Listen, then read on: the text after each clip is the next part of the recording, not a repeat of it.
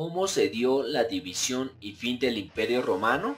Bajo los sucesores de Constantino, los bárbaros arreciaron sus ataques por el Rin y el Danubio, mientras los persas reanudaron la guerra contra el imperio. En el interior se agudizaron las crisis, el Estado no podía sostener los gastos de la burocracia y los ejércitos. La antigua nobleza romana y los ricos terratenientes burlaban los impuestos y se hacían fuertes en sus propiedades. A ellos acudían los emigrantes de las empobrecidas ciudades en busca de trabajo y protección para evadir los impuestos y el servicio militar. Al ejército se enviaban los peores soldados y el gobierno contrataba bárbaros leales para pelear contra los propios bárbaros. El emperador Teodosio II, ante la imposibilidad de una adecuada defensa de tan extenso territorio, en su testamento del año 395 lo dividió en dos. Imperio Romano de Oriente con capital en Constantinopla e Imperio Romano de Occidente con Milán por capital.